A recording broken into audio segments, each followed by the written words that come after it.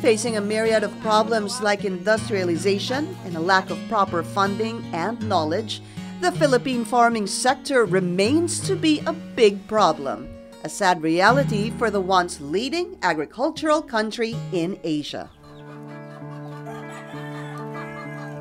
Born and raised in an agricultural community, 24 year old Jason Tan has witnessed and experienced firsthand the plight of Filipino farmers. Due to poverty, Jason's parents had to send him and his siblings to live with their relatives when they were children, as their measly income from farming wasn't enough to raise a family. Ngayon kasi nang namatay nung ano, yung mama namin, maliliit pa kami. Tapos siguro kami yung pinoproblema niya kasi anim kami. Walang nagano sa amin, walang nagbabantay. Kaya pinamigay niya kami sa mga tito namin. Growing up, Jason had to work doubly hard just to get through life one day at a time, earning 500 pesos a month as an errand boy for a local resort in Catbalogan City, Samar. However, farming and agriculture runs too deep in his bloodline. Mas maganda pa rin po yung farming eh. Kasi pwede mo naman po yung inegosyo eh. Tapos wala ka pang boss. Sarili mo naman yung lupa eh. Wala ka nang babayaran. Jason's father left him and his siblings a farmland in Catbalogan City as inheritance. He knows that selling the land would be a more practical move given the decline of the agriculture sector in the country. But Jason believes that with the right disposition and ambition, farming can be their ticket out of poverty. Hindi po namin ibinta yung lupa namin. Kahit mamatay pa po kami, hindi namin ibinta yan. Kasi nga po yung lupa namin po mami, gusto ko pong tamnan. Kasi yun na lang po yung pag-asa namin, eh, yung lupa namin. Yun na lang po yung makukunan namin ng pagkakakitaan. Pag magsikap po kami, kaya namin yan. Based from the latest study of the Philippine Statistics Authority in 2015, farmers along with fishermen remain the poorest sector in the country, thus disenchanting a lot of youth from pursuing a career in agriculture. Filipino farmers are also growing old with an average age of 57 to 59 years old. As an agriculture country, uh, kailangan talaga merong next generation of farmers. That is why um, state colleges and universities go into agriculture para merong magpapatuloy sa mga uh, gawain natin. Seeing the need to support agricultural growth, especially for an agrarian community like Catbalogan City, Samar, the oldest international bank in the Philippines, in partnership with the PBSP or Philippine Business for Social Progress, DepEd, and Catbalogan City Government, launched the Livelihood and Education for Agri Aquaculture Development Program or SCB LEAD. In terms of their livelihood activities, they're really focused on fishing and uh, agriculture. But a lot of the parents wouldn't want to encourage their students to take up farming because they feel there's, there's really no money in, in farming and uh, it's not the future that they want for their kids. But we want to change that mindset. If you look at the other neighboring ASEAN countries, they don't look at farming uh, in a negative way, but they look at farming as a sustainable livelihood also for their people.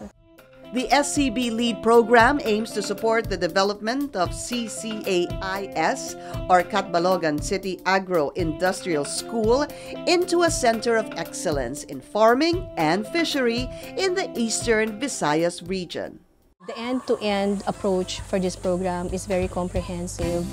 We are strengthening the curriculum of the school and uh, we're also focusing on developing their uh, operations manual um, we're also looking into providing the teachers skills training and we're giving also exposures and immersion program so that successful farming can be aspirational for these students. The program also provides for uh, the donation of farm tools and audiovisual equipment and that also includes recreation facilities. Na itong facility, hindi po natin pangarap na mag-produce ng mga farmers ng mga farmers na lang the entire life nila. Gusto natin dito na makaproduce tayo ng mga bata na pag nag-farming sila, hindi sila yung mga traditional farmers. Ang tawag ko nga, this will be the home of agri-entrepreneurs. Through the SCB LEAD program, education becomes a vehicle to address poverty towards sustainable development by providing a holistic approach. We try to uh, ensure that our sustainable programs and our initiatives really have a positive impact on the community, and it's really not just a one off um, initiative or project for us. We do want to um, ensure that we make a contribution in terms of developing life skills Jason has been fortunate to be one of SCB's lead scholars taking up the agricultural track. And with the knowledge and training he receives from the LEAD program, Jason is confident that one day he'll be able to apply all the lessons he has learned in school. To not only lead a productive and sustainable life as a farmer, but to help revitalize the waning agriculture sector as well. In-encourage pa ako ng kaibigan ko na mag-aral doon. Sabi ko mag-aaral na ako. Gusto ko pong mag-aral kasi sa aming magkakapatid wala na pong nakatapos. Nung nalaman ko yung paaralan na libre, siyempre masaya ako kasi makakapagtapos na po ako ng ano, high school. Katapos, pag nakatapos pa ako, yung plano ko po, magtatrabaho ako. Pag nakaipon na ako, tutulungan ko na po yung kapatid ko dito.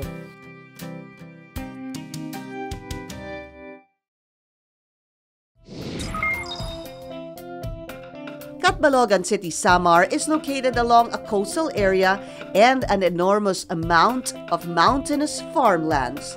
But the city still relies heavily on imported agricultural goods from nearby provinces and cities.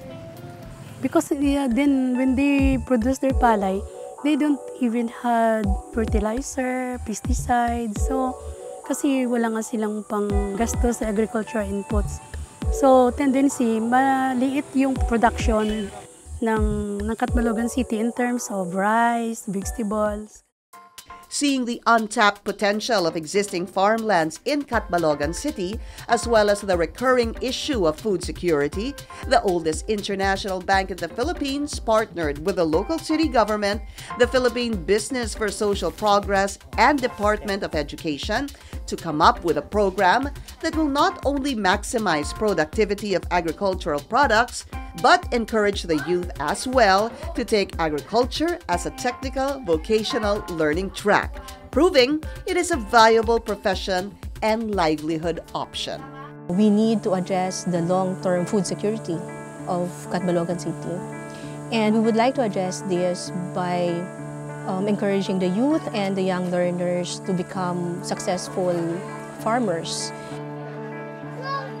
20-year-old Maria Princess Pacampara had to stop her studies due to the financial constraints of her family.